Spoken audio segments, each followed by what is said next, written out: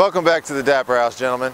In today's video, we're going to go over five style mistakes you're making and how to instantly improve your style.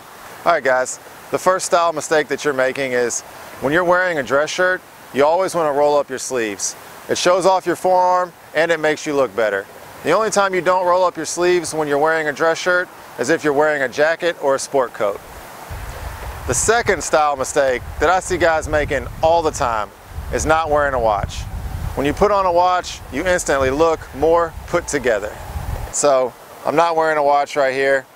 As you can tell, just subtly, I don't look as good. If you're wearing a watch, you always want to make sure that the leathers are the same shade. So it doesn't have to match exactly, but if you're wearing a light brown belt and light brown shoes, make sure you have a light brown watch strap. Same goes with dark brown. They're never going to be perfectly a match, but you want to get it as close as you can. There's nothing wrong with wearing an electronic watch like this one, as long as it's a casual outfit such as the one I'm wearing. I wouldn't wear an electronic watch with like a suit or if you're wearing like a sport coat and some dress slacks. Also another thing to keep in mind, you can get leather bands for these and I think that would be a good option for you if you choose to wear these with a casual outfit.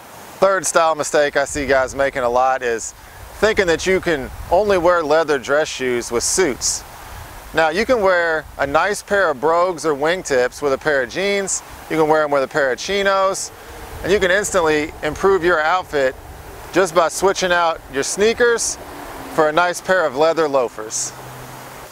Look for opportunities to switch out your sneakers for dress shoes. All right, gentlemen, the fourth tip we're gonna talk about is don't wear a hat indoors. The purpose of a hat is to keep the sun out of your eyes it's bad etiquette to wear a hat inside. Also, on top of that, if you're wearing some dapper clothes like we suggest here at the Dapper House, this just doesn't look right. The fifth and final mistake I see guys making is going for the no sock look without wearing socks. There's a thing called no-show socks that you need to wear anytime you want that look because if you don't, you're gonna get blisters number one, and number two, if they are leather shoes, the sweat from your feet is gonna end up ruining the leather. So you wanna avoid that and wear the no-show socks. Also, if you go to somebody's house and you do need to take off your shoes, you wanna have some socks to wear.